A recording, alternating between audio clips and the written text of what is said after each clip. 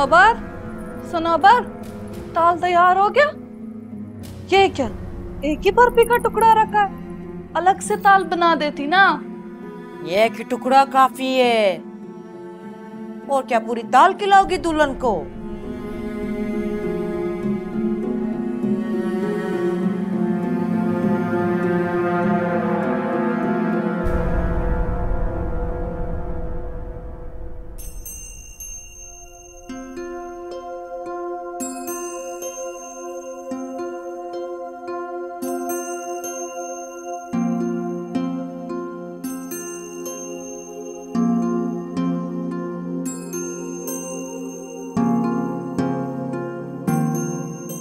के रास्ते में खड़े अंदर क्या झाँक रहे हो अंदर सब औरतें जमा है शर्म नहीं आती तुमको?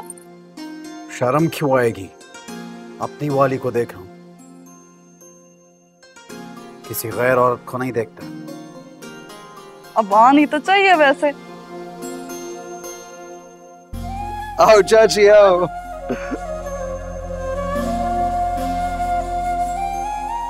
वो सुनो ये बर्फ़ी किसके लिए? और तुम्हारी महबूबा को लड्डू पसंद नहीं है ना? तो मोर ने स्पेशल उसके लिए बर्फ़ी मंगाई है।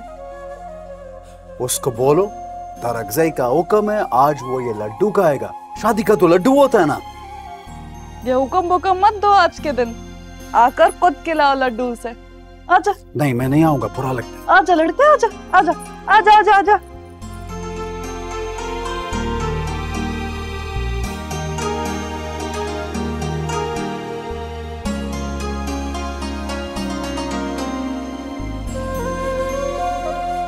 मुबारक माशाल्लाह हमारे शहजादा बच्चा बहुत बहुत मुबारक।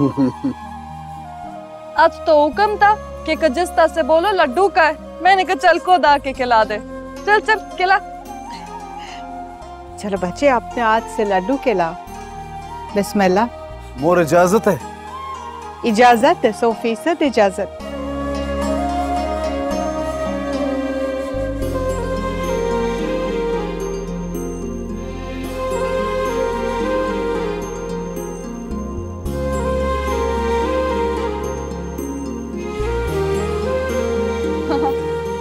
मुँह तो बोलो। शरारत करता है। खिला देना गोले को क्यों तंग करता है? खिला दे तंग मत करो उसे वरना कल को टाइम पर खाना नहीं मिलेगा। हाँ। ये तो बड़ा नुकसान हो जाएगा अगर टाइम पे खाना नहीं मिलेगा। कालो लो।